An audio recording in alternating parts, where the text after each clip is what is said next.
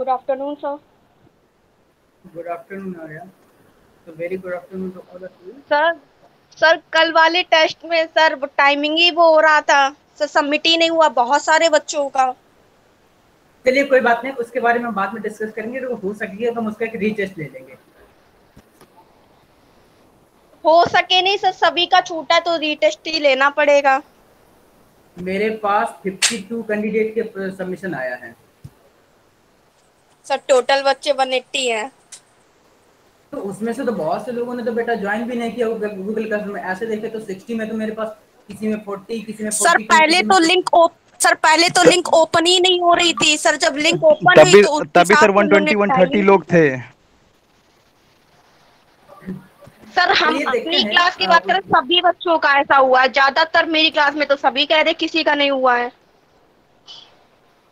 चलिए तो फिर उसका हम रिटेस्ट के लिए लेकिन वो होगा ट्वेंटी फ़र्स्ट के बाद आपका हो पाएगा वो ठीक है? क्योंकि ट्वेंटी फ़र्स्ट को तो आपका ओ का है और उसी दिन आपके मेरा सेकंड सेमेस्टर का भी टेस्ट लगा हुआ है।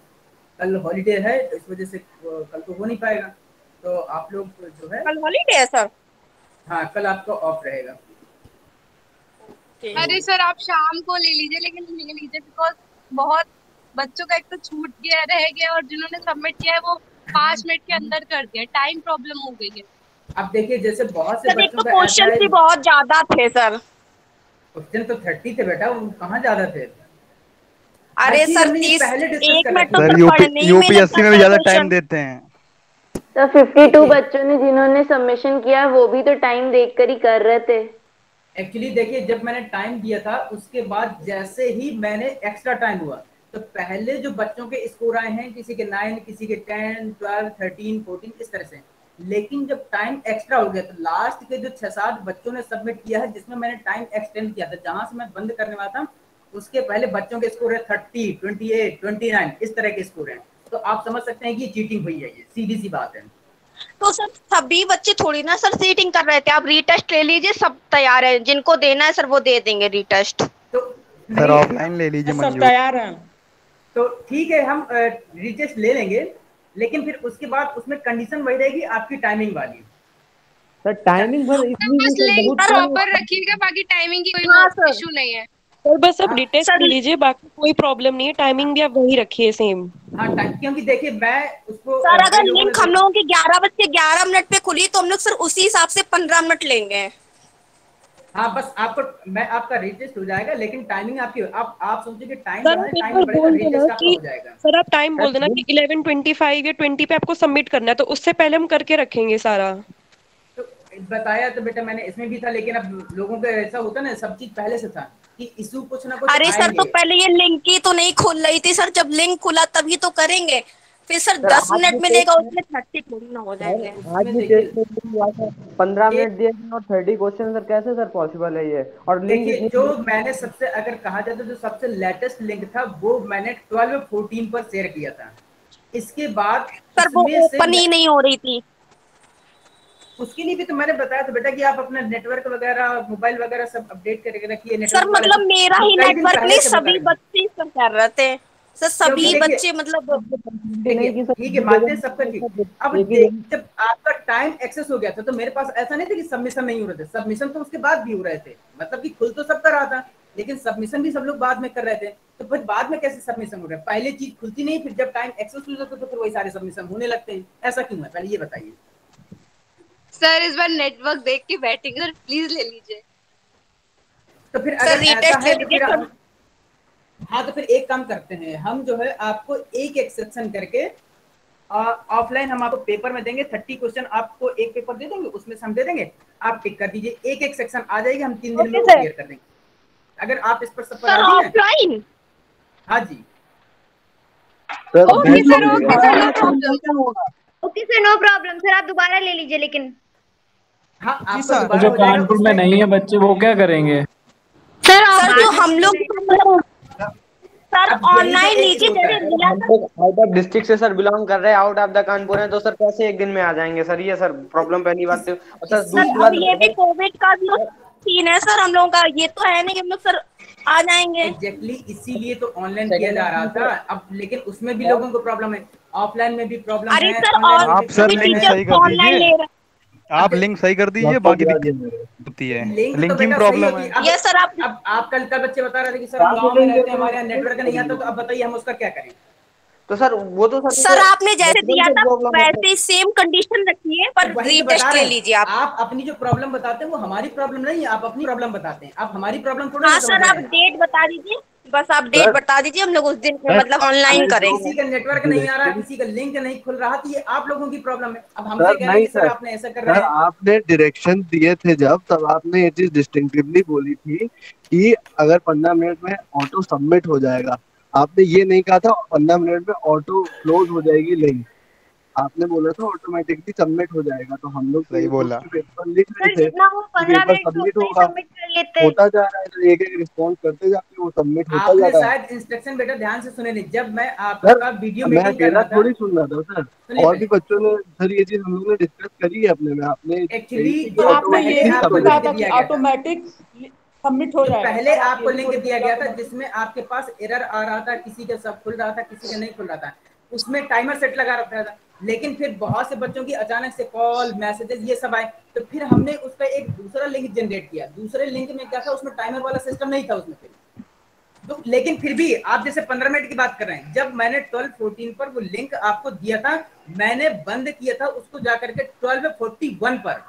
उसके बाद मैंने बंद किया था। लगभग पच्चीस नो सर नो सर हमने थर्टी फाइव पे सबमिट किया था मेरा सबमिशन नहीं हो रहा था। सबमिट कर नहीं हुआ था। थर्टी फाइव थर्टी सिक्स पे सबमिट किया था नहीं हो रहा था। एक सेकंड अगर आपको विश्वास नहीं मेरे पास जो सबमिशन है लास्ट सबमिशन में अभी उसको शेयर कर देता हूँ कि देखिए मेरे पास लास्ट सबमिशन का डेट और टाइम कितना है। सर ये सब आप छोड़िए इससे कोई फ़ायदा होगा नहीं। सर आप बस ले लो आप रीटेस्ट। ले लो बस। हाँ। मेरे पास हर चीज़ का प्रूफ है। आप लोग कहते हैं कि आपके साथ ऐसा नहीं होता। तो इसका मतलब है कि जब मैं प्रूफ दे रहा हूँ तो आप उसको फिर मानिए कि आपका 35 पर सबमिट नहीं हो रहा था। इससे पर तो जिसका 40 पर सबमिट हुआ वो कैसे हो गया फिर? तो मेरे ट्वेल्व फोर्टी वन था लास्ट सबमिशन टाइम अब देखिए श्रेयस सचान कह रहे ट्वेल्व फोर्टी वन पर था लास्ट अब जो 35 वाले बता रहे हैं तो वो कैसे उनका कैसे नहीं हुआ? तो उनकी प्रॉब्लम नहीं मेरी प्रॉब्लम है वो। सर लिंक नहीं खुल रही थी तो सर इसकी अब तो प्रॉब्लम मेरी प्रॉब्लम है। कि आपकी प्रॉब्लम है। लिंक आधे का खुल रही आधे का नहीं खुल रहा तो आप अपना सिस्टम ठीक कीजिए। वो मैं पहले से सब डिस्कस कर चुका हूँ कि आप जिस दिन टेस्ट हो आप उस दिन नेटवर्क सही कीजिए अपना मोबाइल नेटवर्क सब सही करके बैठिए। मैं पंद्रह दिन पहले से आपको डिस्कस कर रहा हूँ इस चीज़ को लेकर के। फिर उस अरे सर दिन हुआ हुआ आप जिसका नहीं हुआ उसका तो ले लीजिए। हाँ सर ऑनलाइन ले लीजिए एक डेट बता दीजिए उसमें किसी का हो या ना हो आप एक बार कर लीजिए फिर कोई दिक्कत नहीं। Yes sir second chance please sir पर ऑनलाइन ही लीजिए। रीटेस्ट का नहीं रीटेस्ट का तो हम एक बार हम सोचेंगे क्योंकि हमें को तो पता है कि बहुत से बच्चों का छूटा है। तो Yes, रीटेस्ट के लिए तो हम भी कंसीडर करें लेकिन हम टाइम जो है टाइम के हिसाब से अपना कंसीडर करेंगे जिस क्योंकि अब मेरे पास बीकॉम ऑनर्स के भी टेस्ट लगे हुए हैं मेरे पास बीबीए ओके सर जब आपके पास टाइम हो। आप तब ले लीजिए पर ऑनलाइन ही लेना। वो कोशिश तो हम यही कर रहे हैं कि ऑनलाइन ही हो क्योंकि ऑफलाइन वैसे भी ज़्यादा पॉसिबल नहीं हो पाएगा। आपका इस वीक के बाद हो सकता है आपका सिलेबस ही सब पूरा बाइंड अप हो जाए आपका बंद हो जाए। आपके पास एग्ज़ाम की हो सकता है लास्ट सितंबर तक या सितंबर फ़र्स्ट वीक में हो सकता है एग्ज़ाम की डेट जैसा भी क्लियर होना होगा तो हो जाएगा आपका। अरे आप टेस्ट सर देखिए एग्ज़ाम छोड़िए। हाँ तो टेस्ट आपका हो जाएगा उसमें कोई वो इशू नहीं है। और हाँ एक चीज़ और आप लोगों अपना प्रेजेंटेशन भी एक तैयार रखिएगा। ऑपरेशन रिसर्च का अलग और सीबी का एक अलग। सर कैसी प्रेजेंटेशन? मतलब जैसे हम यहाँ पर आपको ये क्लास ले रहे हैं हम पीपीटी बना करके आपको बताते हैं। ऐसे ही कम से कम 10 से 15 स्लाइड आप लोगों को बनानी है और उसको आप उस पर आपको बोलना है। सर ये चीज़ सिंगल पर्सन करेगा कि ग्रुप करना है? क्या कह रहे हैं शांतनु? सर ये एक सिंगल पर्सन को करना है कि ऐसा ग्रुप करना है? नहीं नहीं सिंगल इंडिविजुअली होगा। मतलब एक क्लास में अगर of 60 interest आप बच्चे हैं तो सर अब जैसे हम बता रहे हैं ये होगा कैसे? पहले इसका भी सुन लीजिए। एक क्लास में 60 बच्चे एक सेक्शन में हैं। हर Okay. बच्चे को तीन से चार मिनट मिलेंगे प्रेजेंटेशन के लिए। ठीक है?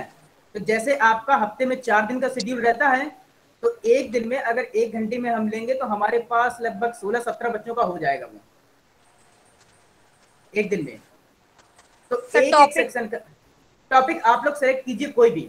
टॉपिक आप लोग कोई आप सेलेक्ट नहीं हैं। देंगे topic of interest of your subject वो बेटा अगर मैं ऐसे सबको दूँगा तो फिर टॉपिक क्लास करने लगेंगे। आप लोग अपने इंटरेस्ट का लीजिए। खुद ही क्लास हो जाए तो इसलिए मैंने कोई दिक्कत नहीं उसमें क्या है कि आप अपने हिसाब से बस ये है कि आप लोग नकल ना करें। जैसे असाइनमेंट में हमने क्या देखा कि बहुत से बच्चों ने नकल किए अब मेरे पास कम से कम छह असाइनमेंट ऐसे हैं जिनका कंटेंट एक ही है। तो आप लोग जो है कॉपी मत कीजिए। बाकी आप लोग चाहे जैसे इंटरनेट से देखिए बुक्स से देखिए मैगजीन से न्यूज़पेपर से कहीं से भी कोई भी टॉपिक उठा करके अपने सब्जेक्ट का आप उस पर प्रेजेंट कर दीजिए उसका पीपीटी बना सर अगर किसी का सेम सेम टॉपिक हो गया तो? तो इसी मैंने क्या कहा टॉपिक सेम होगा कंटेंट तो सेम नहीं होगा। कंटेंट डिफरेंट अब वैसे भी आप एक चीज़ मान के चलिए अब 180 बच्चे हैं अब ट्रांसपोर्टेशन कई लोग ले सकते हैं। तो जब कई लोग लेंगे मान लीजिए पाँच लोगों ने लिया अगर आप कॉपी नहीं करेंगे तो कंटेंट अलग हो ये ज़रूरी थोड़ा ना है कि अब एक ही ने मेरे साथ सारे लोग ले लेंगे। सर तो कॉपी नहीं तो मतलब अगर गूगल से सर गूगल से सर्च करेंगे वो तो सेम हो जाता है ना? बेटा गूगल में भी आप सर्च करेंगे ना तो उसमें भी आपके पास मिलियंस ऑफ़ नंबर ऑप्शन आते हैं। करोड़ों। अब करोड़ों में 180 बच्चे मतलब कि सब एक ही सेलेक्ट करेंगे। सर फिर विकिपीडिया यूज़ करने के लिए मना कर दीजिए। हम जो कह रहे हैं पहले आप सुनिए। दूसरे क्या कहते हैं क्या सुनते हैं उनसे हमें मतलब नहीं आप कहीं से भी आपका कंटेंट अच्छा हो आप उस पर अच्छा बोल सकते हो आप रिप्रेजेंट कीजिए। हमें आपको सुनना है बस। हमने आपका इंटरेस्ट दिया। भाई अगर आपका इंटरेस्ट अच्छा होगा तो आप उस पर बेटर बोल पाएँगे। कोई ज़बरदस्ती चीज़ थोपी नहीं जा रही है। अगर प्रेजेंटेशन की बनाना तो क्या है। ये आपका जो अगला टर्न आएगा नेक्स्ट वीक में उसमें होंगे। हम्म। इस संडे के बाद। सर टाइम ही नहीं मिलेगा। अरे हम ये कह रहे हैं कि जैसे किसी को नहीं करना तो वो आप ना करें। हम कोई कंपल्सन नहीं है। सर किसी टॉपिक पे अगर मतलब कि मतलब कि लिख लें हम उसको और आपको हाँ तो आप लिख करके भी कर सकते हैं। वही तो मैंने कहा आप अपना कॉपी पेन पर लिख लीजिए और उसकी फ़ोटो खींच करके वो रिप्रेजेंट कर दीजिए आप। ज़रूरी नहीं कि आप पीपीटी बनाए। आपके पास जैसे बहुत से बच्चे ऐसे हैं जिनके पास लैपटॉप नहीं है या ऐसा कुछ इशू है तो वो अपना कॉपी पेन पर बढ़िया अच्छे से लिख करके राइटिंग बना करके उसमें चार हेडिंग लिखें और उनको एक्सप्लेन कर सकते हैं। आपके पास ऑप्शन है ये आपकी क्रिएटिविटी आपके माइंड पर डिपेंड करेगा कि आप Okay, कितना. अच्छा अच्छा आपको रिप्रेजेंट कर पाते हैं। थैंक यू सर अभी हम लोग को प्रोजेक्ट रिपोर्ट भी बनानी है वो भी हैंड रिटन बोली गई हम लोग से। तो हाँ, तो हम लोग के पास सर वो नहीं सब फिर क्लासेस भी हैं मॉर्निंग टाइम में टेस्ट भी चल रहे हैं वो सब हम लोग करेंगे।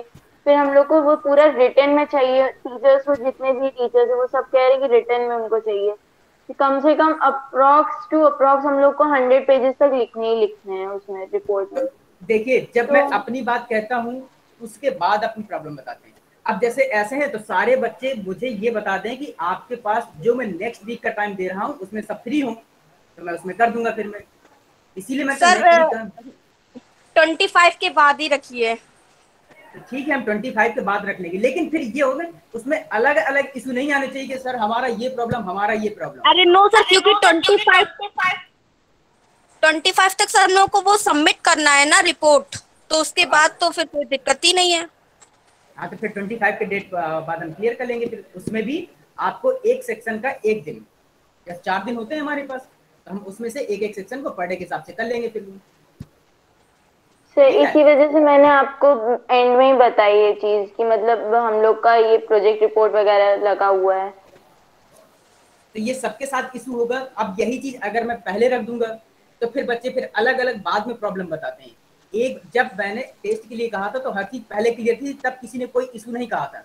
लेकिन जिस दिन टेस्ट होता है मान लीजिए सबसे एक गड़बड़ी हुई मान लीजिए लिंक नहीं खुल रहा आपका। उसके चार, पाँच मिनट बाद मैंने दूसरा लिंक किया। अब बच्चे क्या है? उसमें मैंने मैसेज भी डाल दिया। वो लोग नहीं, बच्चे नहीं देखते हैं। वो क्या है? उसी लिंक में जुड़े हैं, उसी से मैसेज कर रहे हैं, उसी से कॉल कर रहे हैं। उसके आगे की प्रोसेस नहीं देख रहे हैं तो ये चीज़ आपकी एक कमी रहती है। और फिर उसके बाद फिर आप लोग कंप्लेन करते हैं। और जबकि मैंने सारा सब कुछ क्लियरली स्टेट कर दिया था। अब उसमें बहुत से बच्चे कहते हैं ऑटोमेटिक वाला।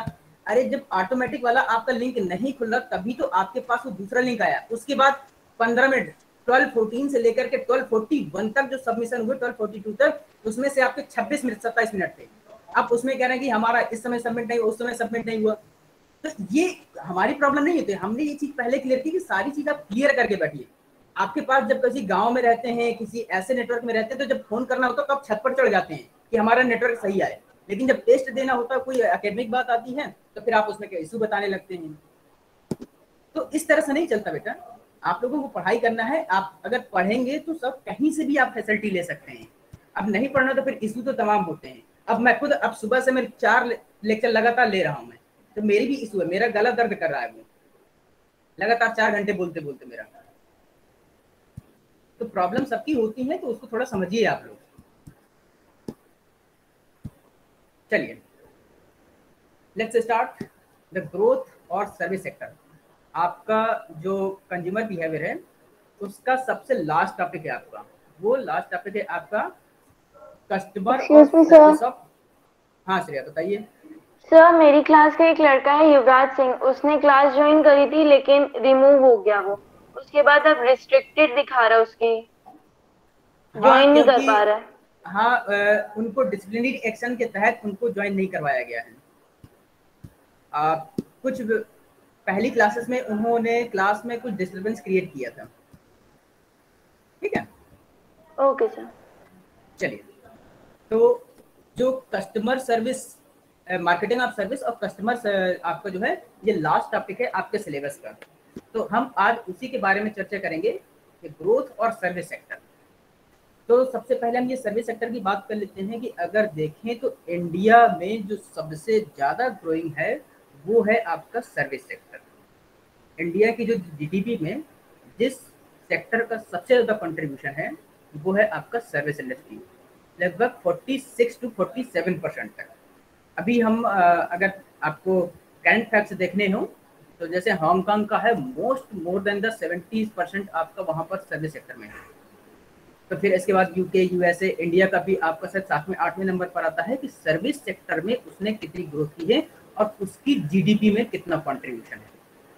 तो हम अब पढ़ेंगे कि जो मार्केटिंग ऑफ़ सर्विसेज़ होती हैं, वो क्या होती हैं, उनके फीचर्स क्या होते हैं और सर्विसेज़ किसको कहते हैं, उनका गुड्स और सर्विसेज़ से डिफरेंसेस क्या होता है, अब हम थोड़ा इसके बारे में देख लेते हैं। क्योंकि कंज्यूमर बिहेवियर हमने पूरा पढ़ लिया है। अब कंज्यूमर बिहेवियर पढ़ने के बाद अब हम थोड़ा सर्विसेज़ के बारे में भी पढ़ लेते हैं कि हम उसको कैसे एनालाइज करते हैं। क्योंकि प्रोडक्ट वगैरह तो हम कंज्यूम करते हैं। प्रोडक्ट हमने खरीदा, उसको कंज्यूम किया, उसको एक्सपीरियंस किया। सर्विस को हम कैसे कंज्यूम करते हैं? देखिए इसकी ग्रोथ का क्या कारण है? And the psychological need of the people get fulfilled, there is a demand for more satisfaction. अब ये क्या है? जैसे आपका गुड्स या सर्विसेज़ होती है तो ये क्या है आपकी? ये है आपके फ़िज़िकल गुड्स तो गुड्स या प्रोडक्ट होते हैं आपके फ़िज़िकल गुड्स है आप फ़ूड ले रहे हैं, आपने खाना खाया, आपकी हैंगर सेटिस्फाइड है। ठीक? आपने उसको सेटिस्फाइड कर लिया, अपनी भूख शांत करके। ये क्या है आपका फ़िज़िकल गुड्स आपने सोप लिया आपने उससे बात किया वो आपका क्या है? फ़िज़िकल आपने उसका कंज्यूम किया। अब यही चीज़ अगर हम थोड़ा दूसरे तरीके से करें।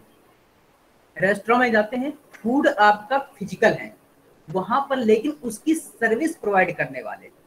रेस्टोरेंट आपको जैसे पानी देना है। ठीक है ना? आपको अ, जैसे एसी है। आपको एसी में क्या है? आप केवल फील कर रहे हैं। आप रेस्टोरेंट में बैठ करके खाना खा रहे हैं फ़ूड आपका फ़िज़िकल हो गया, लेकिन एसी जो है आपको उसकी फ्री में सर्विस जो मिल रही है, वो आपको फील कर रहे हैं। तो ये क्या है?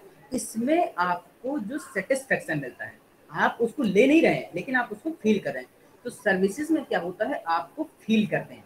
तो आपकी जो फ़िज़िकल सेटिस्फेक्शन फीलिंग के बेस पर होती है, वो आपकी सर्विसेज़ कहलाती है। जैसे आपको अब बैंक में जाते हैं तो बैंक में आप पैसे जमा करते हैं, निकालते हैं। ठीक? अब यहाँ पर करेंसी की बात नहीं कर रहे लेकिन बैंक आपको क्या है? जमा करने निकालने और किसी भी ट्रांजेक्शन को करने की फैसिलिटी प्रोवाइड करता है। वो क्या है? वो आपकी सर्विस है। जैसे आप ऑनलाइन ट्रांजैक्शन कर रहे हैं तो यहाँ पर कोई भी फ़िज़िकल आपको चीज़ नहीं मिल रही जो ट्रांजैक्शन की फैसिलिटी है वो सर्विस है वो आपको बैंक प्रोवाइड कर रहा है। ये क्या है? आपके सर्विसेज़ तो अब जरा हम इन्हीं के बारे में पढ़ते हैं। तो द चेंजिंग लाइफ स्टाइल आपकी लाइफ स्टाइल चेंज हो रही है। Changing world, changing economics, technological advanced modernization, liberalization, privatization, globalization, policies are same of the factors for stimulating the dramatic growth in services.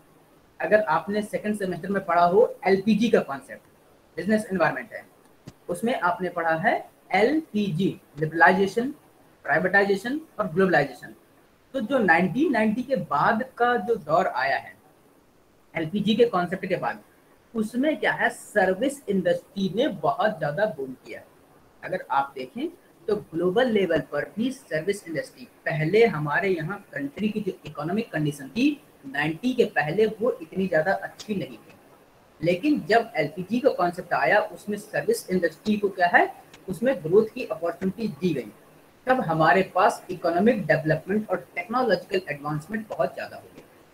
जैसे आपको आईटी सर्विस प्रोवाइड करती है। अगर आपके यहाँ डेल को देखें, डेल हमारे यहाँ एक लैपटॉप मैन्युफैक्चरिंग कंपनी है, जो लैपटॉप को बेचती है।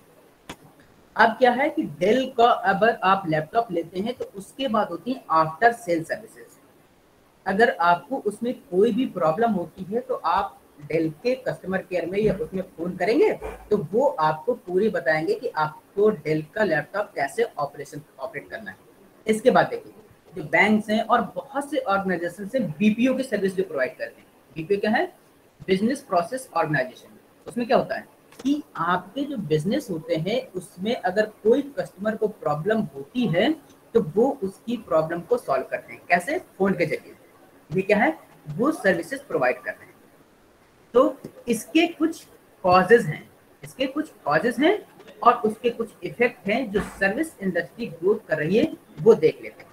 सबसे पहला है आपका टेक्नोलॉजिकल एडवांसमेंट आप टेक्नोलॉजी इतनी ज़्यादा बढ़ गई है, जिसकी वजह से आपका हाई कॉम्प्लेक्सिटी ऑफ़ प्रोडक्ट मिलने लगे जो आपको प्रोडक्ट मिल रहे हैं, उनकी कॉम्प्लेक्सिटी या कहें कि आपको बहुत ज़्यादा एडवांस मिल रहा है। आप जैसे आपका आईफोन वगैरह लें, जो एप्पल के बहुत हायर आप देखेंगे तो उसकी तो फ़ोन ही काफ़ी महँगे होते हैं, लेकिन जैसे फाल्कन सीरीज़ में जाएँगे ना तो उसके बहुत महँगे प्रोडक्ट होते हैं। अब उसमें इतने ज़्यादा फीचर होते हैं कि हो सकता है आपको न पता हो। तो उसके साथ वो आपको यूज़र गाइड पर मैनुअल देंगे। जैसे आप कोई भी महँगे प्रोडक्ट खरीदते आप जितनी महँगी कार खरीद रहे हैं, मान लीजिए आपने बीएमडब्ल्यू खरीदी तो उसमें फीचर बहुत ज़्यादा होते हैं। उसमें बहुत ज़्यादा फीचर होते हैं, क्यों? उस प्रोडक्ट की कॉम्प्लेक्सिटी ज़्यादा हो जाती है। क्यों? उस टेक्नोलॉजी आजकल इतनी बढ़ गई है। अब जैसे ए आ गया है आर्टिफिशियल इंटेलिजेंस अब ऐसे ऐसे गैजेट्स कार ऑटोमोबाइल में आ रहे हैं, आपको ड्राइव भी नहीं करना है। आपको ड्राइव नहीं करना है। आप केवल कमांड दीजिए, बोल दीजिए और वो सीधा चलता रहेगा वो। जब तक आप उसमें कमांड चेंज नहीं करेंगे, वो उसको फॉलो करेगा। ये क्या है आपका आर्टिफिशियल इंटेलिजेंस तो इसका मतलब है, ये है टेक्नोलॉजिकल एडवांसमेंट ये आपका टेक्नोलॉजिकल एडवांसमेंट है, जिसकी वजह से अब जो आपके प्रोडक्ट या सर्विस वो बहुत कॉम्प्लेक्स हो गए इसका इलेस्ट्रेशन क्या है? Maintenance service for example AMC for computer service centre for cellular phone ये एग्जांपल है कि एएमसी एक कंपनी है। ये क्या है? आपके जो कंप्यूटर वगैरह लेते हैं या सॉफ्टवेयर वगैरह कुछ लेते हैं, आप जैसे एंटीवायरस या कुछ बहुत ज़्यादा कुछ आपने या बहुत हाई कॉन्फ़िगरेशन का आपने लैपटॉप या कंप्यूटर लिया तो आपको क्या है? सर्विसेज़ प्रोवाइड की जाती है। जैसे आपने मान लीजिए काफ़ी कॉस्टली प्रोडक्ट लिए हैं तो आपके घर पर आकर के वो पूरा उसका इंस्टॉलेशन करके पूरा सेटअप करके जाते हैं। आप तो महँगे तो छोड़िए आपके जो सस्ते प्रोडक्ट हैं, उसमें भी आपका सर्विसेज़ देते हैं कि आपके घर पर आकर के वो सेटअप करके जाएँगे। आपको कुछ भी करने की ज़रूरत नहीं।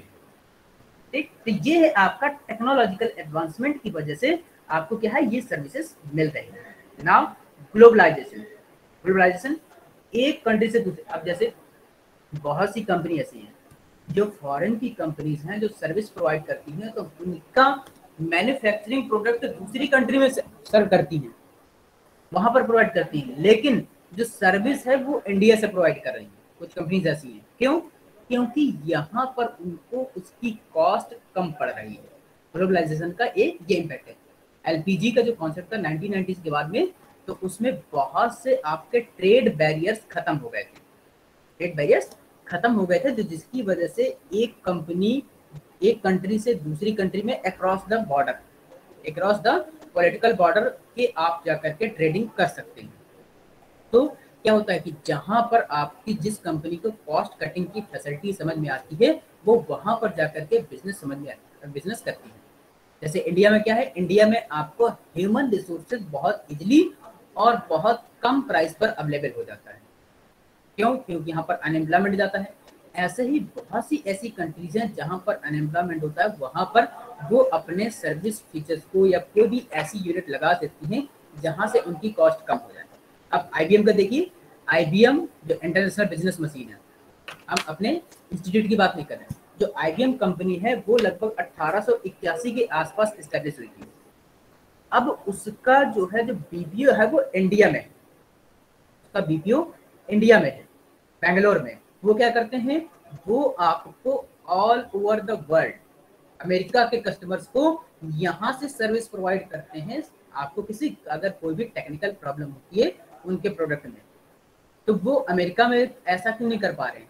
क्यों? क्योंकि देखिए, केवल इंटरनेट वहाँ भी इंटरनेट यहाँ भी। वहाँ का जो ह्यूमन रिसोर्स कॉस्ट है, वो उनको वहाँ पर ज़्यादा पड़ती है। तो ये ग्लोबलाइजेशन की वजह से क्या हुआ? इसमें से उनको बेनिफिट मिल रहा है। तो इस वजह से भी सर्विस इंडस्ट्री बूम कर रही है। यहाँ पर देखिए international shipping and couriers company जो आपको इंटरनेशनल शिपिंग और कुरियर्स कंपनी आप कोई भी प्रोडक्ट अक्रॉस द बॉर्डर आप कहीं भी भेज सकते हैं, मंगा सकते हैं।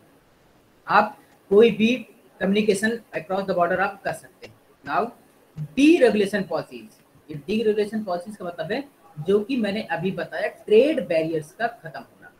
ट्रेड बैरियर्स का जो हमारे यहाँ पहले था 1990s के पहले एलपीजी कॉन्सेप्ट के पहले उसमें ये था कि आपको अगर एक कंट्री से दूसरी कंट्री में एक्सपोर्ट इंपोर्ट या कोई भी ट्रेडिंग करनी है तो उसके लिए बहुत से रूल्स और रेगुलेशन रजिस्ट्रेशन लाइसेंसिंग की प्रथा होती है। जिसको पहले हम लोग बोलते थे लाइसेंसिंग राज। ठीक है ना? वो अब खत्म हो गया है। वो खत्म हो गया है। उसमें मतलब कि ट्रेड बैरियर्स बहुत खत्म हो गया अब अगर आप देखें तो जैसे डेली न्यूज़पेपर में पढ़ते हैं कि गवर्नमेंट ने क्या किया? गवर्नमेंट ने ये कहा है कि अब सिंगल विंडो में काम होगा। अब आपको कहीं कई ऑफ़िस के चक्कर नहीं लगाने हैं। आप अपना प्रोजेक्ट या फ़ाइल एक जगह लेकर के जाइए, वहीं से आपको सारे अप्रूवल हो जाएँगे। अब तो वो जाने की भी प्रॉब्लम खत्म होती जा रही है। आप ऑनलाइन कीजिए और उसमें आपके सारे प्रॉब्लम सॉल्व हो जाएँगे। आपको पूरी अथॉरिटी मिल जाएगी। अब मान लीजिए आपको बिज़नेस करना है। बिज़नेस करने के लिए आपको जीएसटी या उद्योग रजिस्ट्रेशन जो भी चाहिए, आप ऑनलाइन अप्लाई कीजिए। घर बैठे आपको कहीं भी जाने की ज़रूरत नहीं है और आपको बिज़नेस का लाइसेंस आपको मिल जाएगा। आपको जीएसटी घर बैठे मिल जाएगी। आपको बगैर कहीं भी जाने के। यही चीज़ जो पहले थी, उसके लिए आपको कई ऑफ़िस के चक्कर लगाने पड़ते थे। तो ये क्या है? ये ये है कि आपके जो डी जो पॉलिसीज़ पहले थी, उनमें से बहुत ज़्यादा चेंजेस हो गए। अब उनके चेंजेस की वजह से ट्रेड बैरियर्स खत्म हो गए इससे क्या हुआ? जो प्राइवेट कंपनीज़ हैं उनको बहुत ज़्यादा इसका बेनिफिट मिला। क्यों? क्योंकि जो पहले उनको कई सर्टिफिकेट कई रजिस्ट्रेशन कई लाइसेंस लेने पड़ते थे अब उनको वो घर बैठे सब मिल जाते हैं। तो देखिए privatisation of government owned sector excuse me sir हाँ स्तुति बोलिए। सर आपने युवराज सिंह को क्यों नहीं ऐड किया मेरे क्लास का? उसने तो कोई भी वायलेशन नहीं किया था। आप शायद दूसरे सेक्शन की बात कर रहे हैं। दूसरा सेक्शन बेटा सेक्शन सी में युवराज है। सर एक सिक्स सेमेस्टर में भी युवराज भैया हैं। वो हमारे सीनियर है। उनका नाम भी युवराज सिंह ही है। बेटा तो हम क्लास तो आपकी लेते हैं ना? उनकी क्लास नहीं ले रहे हैं? बट सर हम लोग भी क्लास लेते हैं। हम सिक्स सेमेस्टर में क्लास है ही नहीं मेरी। मैं जो लिंक शेयर करता हूँ वो तो फोर्थ सेमेस्टर में शेयर करता हूँ।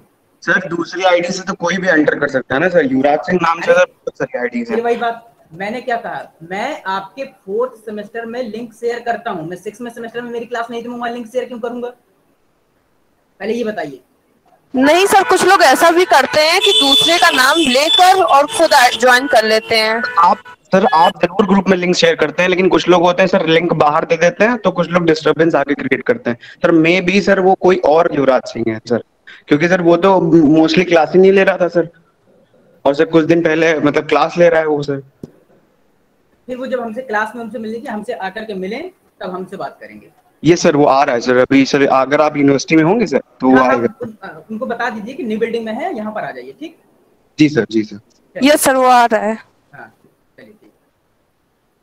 तो ये आपके पास एलपीजी का जो कॉन्सेप्ट है, इससे क्या है, आपके ट्रेड बैरियर्स आपके खत्म हो गए। ठीक?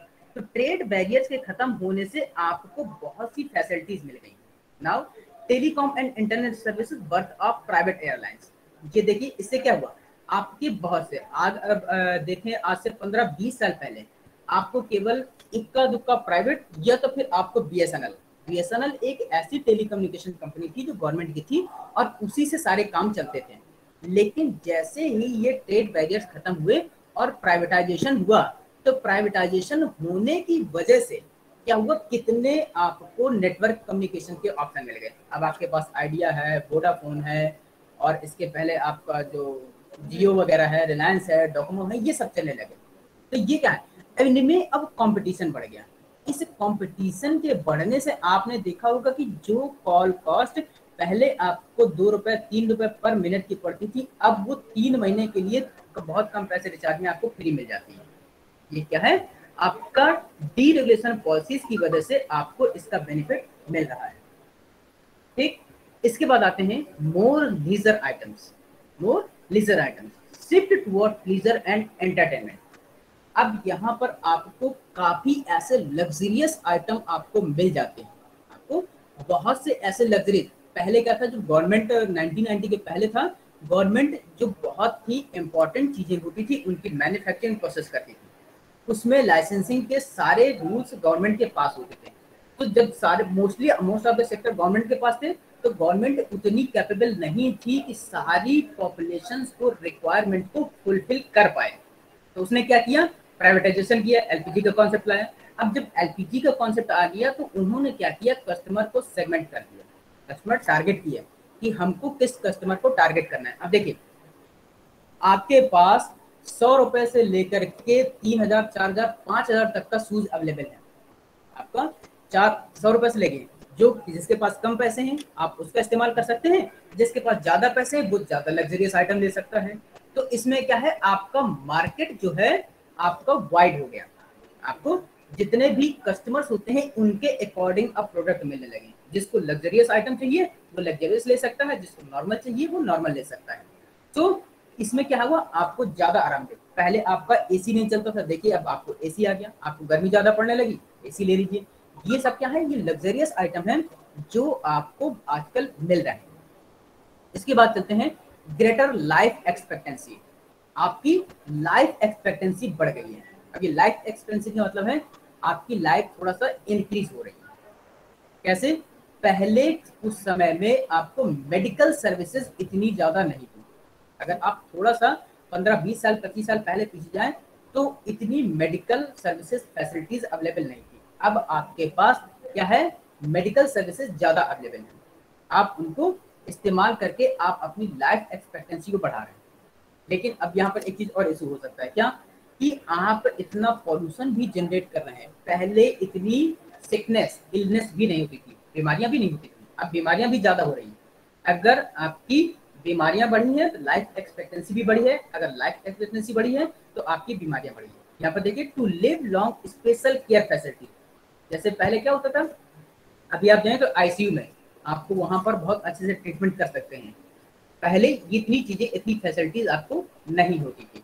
तो आप हेल्थ सेक्टर में देखिए, पहले आपके पास जो फाइव स्टार होटल वगैरह होते थे, या हॉस्पिटल देखिए तो आजकल तो जैसे फोर्टिस वगैरह हॉस्पिटल देखिए तो वहाँ पर आपको फाइव स्टार हॉस्पिटल्स में भी आपकी ग्रेडिंग होने लगी है कि कौन सा हॉस्पिटल कितना अच्छा है, उसकी ग्रेडिंग होती है।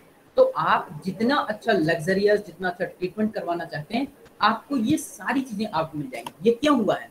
क्योंकि सर्विस इंडस्ट्री में बूम हुआ है। तो ये ऐसे बहुत से फैक्टर हैं जिन्होंने सर्विस सेक्टर को ग्रोथ के लिए इंस्पायर किया है। अब देखिए service need product as consumers उसके इम्पैक्ट क्या होते हैं और उसमें से कुछ यहाँ पर एग्ज़ाम्पल दिए हैं, आपको किस किस तरह की सर्विस इसके अलावा भी और बहुत से हो सकते हैं। सर्विस नीड एज एज के हिसाब से आपको सर्विसेज़ मिल जाती हैं। सीनियर सिटीजन होम व्हील ये आपको सारी सर्विसेज़ मिल जाएँगी।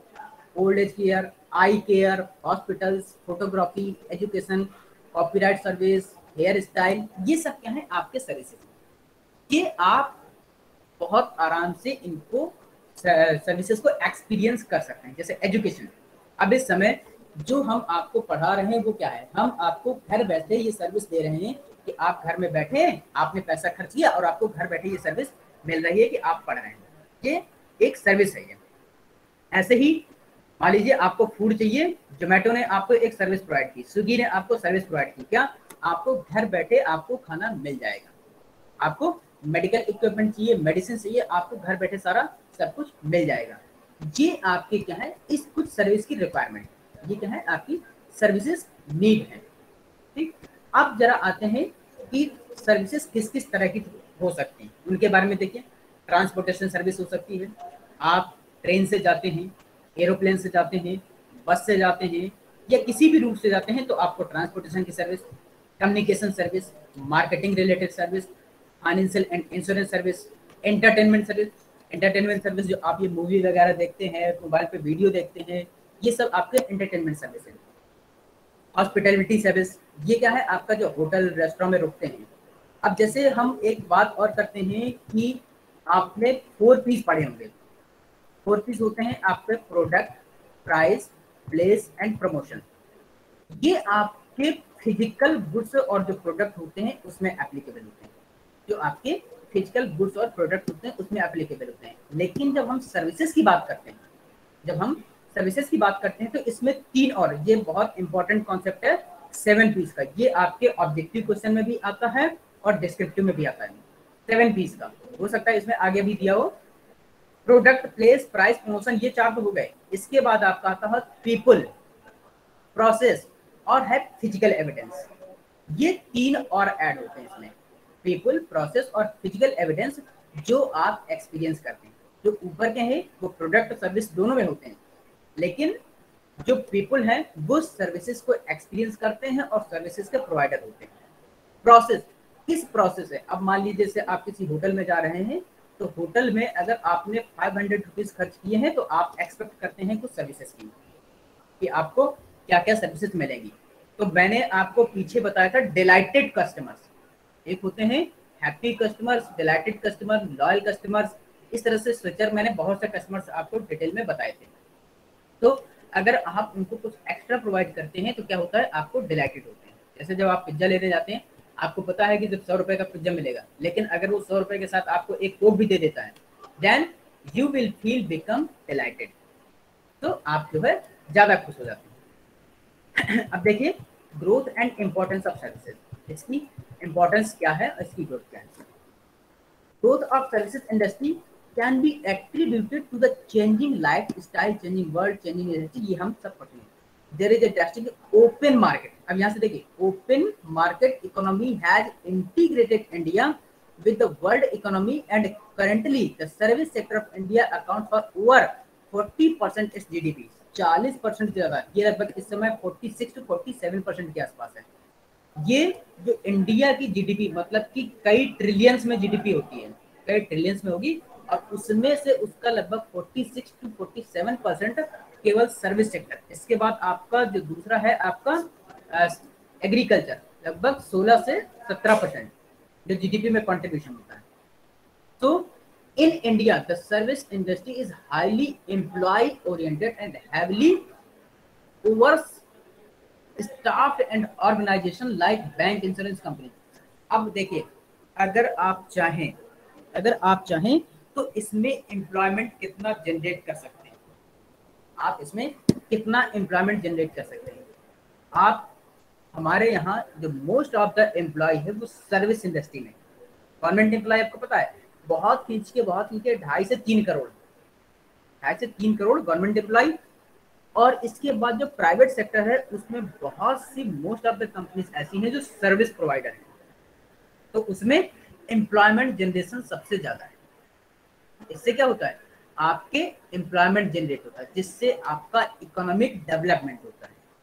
तो इंडिया जैसी कंट्री जिसका आपका सर्विस सेक्टर को कंट्रीब्यूशन 46 टू 47 परसेंट है तो आप उसमें उसके जीडीपी में उसके इकोनॉमिक डेवलपमेंट में उसके कंट्रीब्यूशन को समझ सकते हैं अब सर्विस मार्केटिंग का इंपॉर्टेंस देखिए most services marketing involve some good and there is explosive growth in service industry and account of increase complexity, specially and competitive nature of business.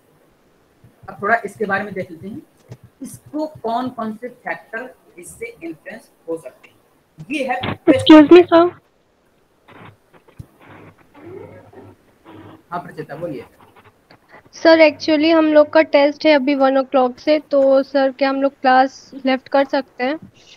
अच्छा एक बजे से टेस्ट है? यस सर चलिए ठीक है मैं फिर बंद कर रहा हूँ इसको ठीक है? चलिए तो हम Thank ये इसके, हाँ इसको जो है हम लोग बाद में पढ़ लेंगे। थैंक यू सर हाँ आप लोग टेस्ट दीजिए अगर आपका जैसे ऐसा कुछ हुआ करे तो मुझे पहले से बता दीजिए तो फिर मैं अपना टाइम सेटअप उसी तरह से कर लिया करूँगा। अब जैसे मेरी क्लास का टाइम बारह दस से एक दस है तो वही था कि मुझे पाँच दस मिनट और था लेकिन ठीक है हम लोग बाद में फिर इसको एडजस्ट कर लेंगे। चलिए thank you to all of you thank you sir thank you sir सब लोग अपना नाम ज़रूर लिख दीजिए इसमें। Thank you sir chat box में अपना नाम ज़रूर लिख दीजिए सब लोग अटेंडेंस के लिए।